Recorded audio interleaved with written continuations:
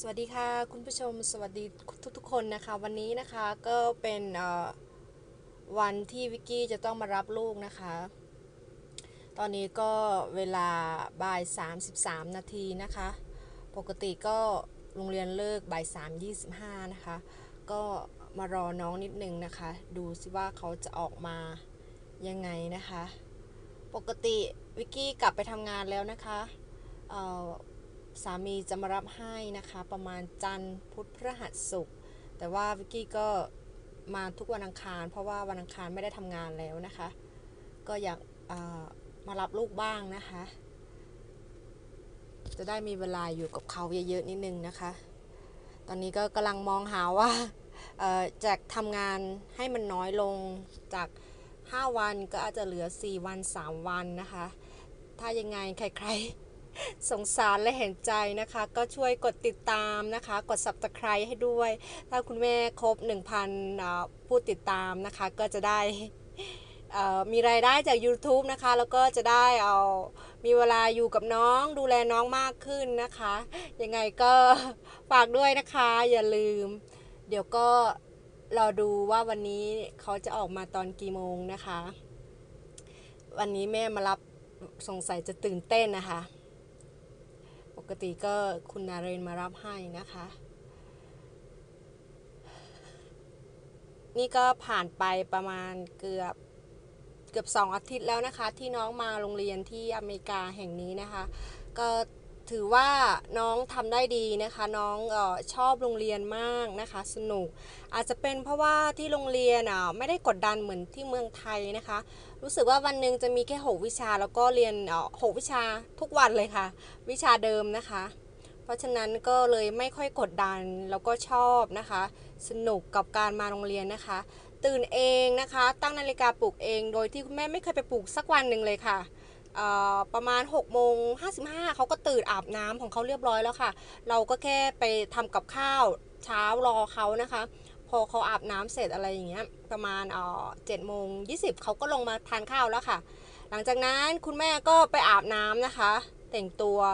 ลงมาแล้วก็8ปดโมงก็มาส่งที่โรงเรียน ตอนเช้านี่วิกกี้จะส่งทุกวันนะคะ เพราะว่าวิกกี้เข้างาน9ก้าโมงครึ่งเนาะก็มีเวลา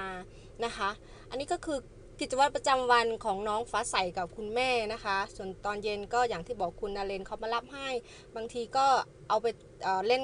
บ้านเพื่อนคนไทยนะคะ เพื่อนวิกกี้เป็นคนไทย แต่ว่าลูกเขาเป็นลูกครึ่งนะคะ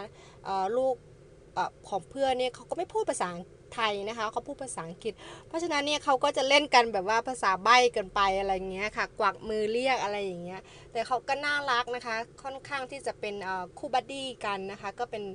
เพื่อนที่ดีต่อกันนะคะ อนาคตก็คิดว่าน้องจะคุยภาษาอังกฤษได้มากขึ้นนะคะ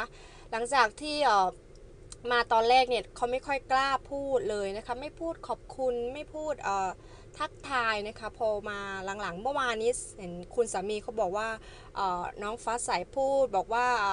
สวัสดีค่ะ พูดเป็นภาษาไทยก็ยังดีนะคะ แสดงว่าเขามีพัฒนาการมากขึ้นนะคะ จากที่ไม่พูดไม่ยิ้มไม่ทักทายอะไรเลยนะคะ เราก็เป็นความเปลี่ยนแปลงไปในทางที่ดีนะคะ ตัวแม่เองก็ดีใจนะคะ ที่ลูกมีการเปลี่ยนแปลงไปในทางที่ดี ตอนที่อยู่ที่เมืองไทยรู้สึกว่าเขาจะ ก็คือไม่รับผิดชอบอะไรเลย ไม่ดูแลอะไร แต่พอมาอยู่ที่นี่น้องรับผิดชอบของตัวเองเยอะซักเสื้อผ้าเองนะคะ แล้วก็พับเก็บใส่ตู้เรียบร้อยนะคะ จัดที่นอนถึงแม้ว่าจะจัดจะพับไม่เรียบร้อยนะคะ แต่อย่างน้อยเขาก็ทำนะคะอันนี้ก็เป็นความภูมิใจนะคะ แล้วก็ช่วยในเรื่องของการเอ่อเอ่อใช้เครื่องล้างจานนะคะ แล้วก็เอาจานที่แห้งแล้วเก็บเข้าที่นะคะ ก็ถือว่าน้องเขาพัฒนา มากนะคะ มีความรับผิดชอบมากขึ้นสำหรับเด็ก 10 ขวบนะคะ ยังไงเราก็เป็นกำลังใจให้น้องต่อไปนะคะ ดูซิว่าพัฒนาการเขาจะเป็นยังไงนะคะ เดี๋ยวเขาใกล้จะออกมาแล้วค่ะ รอดูนะคะ เด็กๆออกมาแล้วนะคะ แต่ว่าลูกสาวเรายังไม่ออกมาเลยนะคะ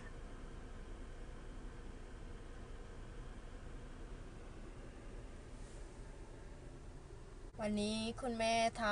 ำลูกชิ้นย่างมาให้เขาด้วยนะคะ เพราะรู้ว่าลูกเลิกเรียนแล้วหิวแน่ ๆ เลยนะคะ ก็เลยทำใส่รถไว้เลยมาถึงเขาจะได้กินนะคะ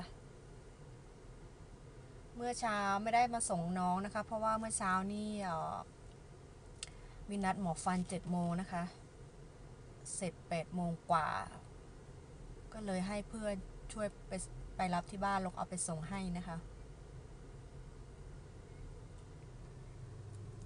อยู่อเมริกาการมีเพื่อนก็สำคัญนะคะ ถ้าเรามีเพื่อนดีนี่เราไว้ใจเราก็ฝากลูกเราได้นะคะวิกกี้เองก็โชคดีที่มีเพื่อนดีนะคะ ช่วยดูแลลูกได้นะคะ หลังเลิกงานอะไรอย่างเงี้ย ลูกเราไปเล่นกับลูกเขานะคะ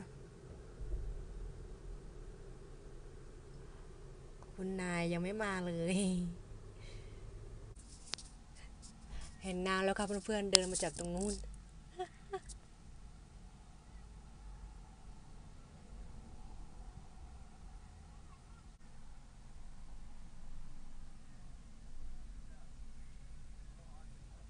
นางมองไม่เห็นนะคะว่าแม่มาลอยตรงนี้นะคะ เดี๋ยวไปไปดู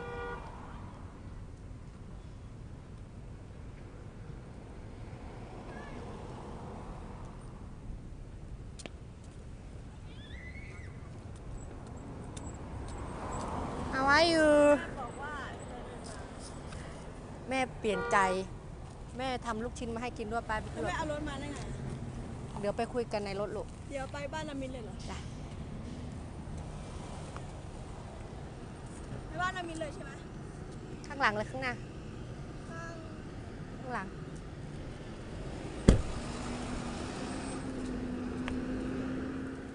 เอานะคะ คนงามฮาวายยูลูก เดี๋ยวแม่ อุ้ยอยู่เหรอ อ๋อ อะไรเอ่ย เปิดดูซิแทนแทรนลูกชิ้นละล้อโอ้แม่ลืมใช่ไหมอร่อยไหมลูก ถอดเสื้อออกสิคะไม่แม่ทำให้พูดยังไงคะลูกอาบฝุ่นอร่อยไหมลูกอะไร ไม่เอารถมาได้ไงอะนั่นแหละก็คืออย่างนี้ ดาเลนเอารถแม่ไปล้างให้ แล้วทีนี้ ดาเลนก็เลยให้แม่เอารถแม่ เอ้ยดาเลนก็เลยให้แม่เอารถคันนี้มา เพราะว่า เดี๋ยวเอ่อที่ทำงานดาเลนกับศูนย์ล้างรถอะที่เดียวกันลูก แม่รีบๆไปโอเค ขอบคุณคุณแม่หรือยัง ฉี่จะแตกแล้วเนี่ย เอาขอบคุณค่าก่อน ขอบคุณค่ะเร็วฉี่จะแตกแล้ว